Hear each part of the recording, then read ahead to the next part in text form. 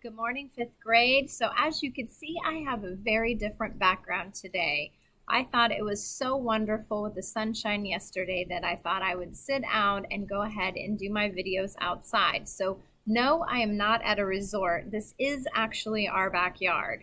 So we are enjoying the wonderful uh, sun and my waterfall pool, waterfall in the background.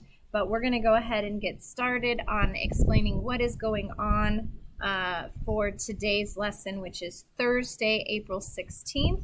So you do have your normal Bible lesson coming up, as well as your spelling.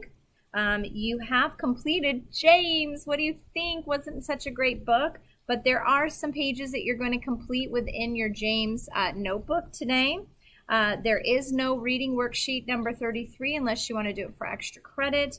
And we have no penmanship and uh, your moon writing project was uh, suspended till next week unless you wanted to get ahead.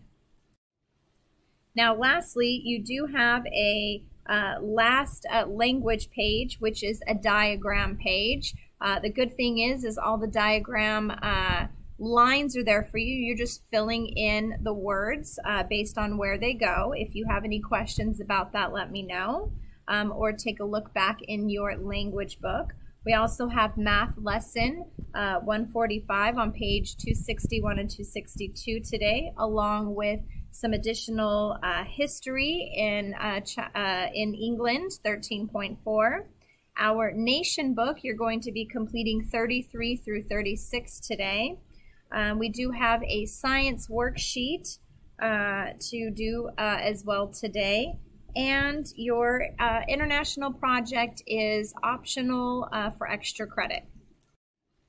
So I hope that you guys enjoyed the sun yesterday and that the sun continues today. So please get out there and enjoy some warm weather. Um, I know that I think it's going to rain this weekend again, so get out there and enjoy some warm weather while it's still nice and sunny. And I hope you guys have a great Thursday.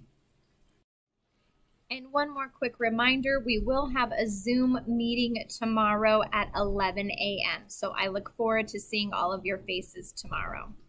Have a good Thursday.